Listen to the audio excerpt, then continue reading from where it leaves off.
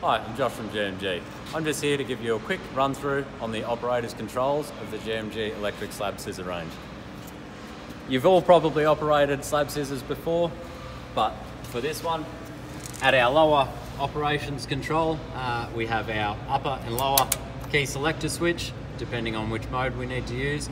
At our lower position, we have available our lift and lower switch, our emergency stop, and also our manual brake release for use for transport when towing onto trucks.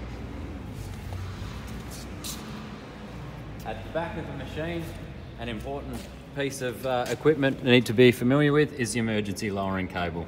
In an emergency situation, you simply pull on that and it will release the stack down.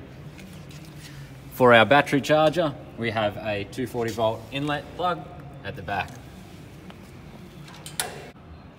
At our operator's upper control position, we have again our e-stop, release to power the machine.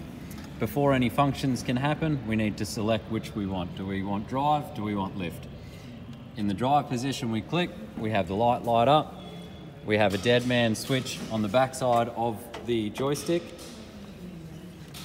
Hold the dead man and push forward to drive, pull back to reverse. On the top of our joystick, we have our steer control, left and right to steer as needed.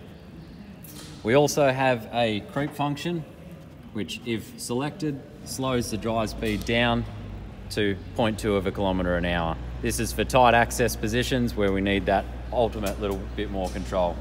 We have our warning beeper as well. In our lift mode, we select lift. We'll see that the light is confirmed we're on lift. We're pulling back to lift. And we're pushing forward to lower.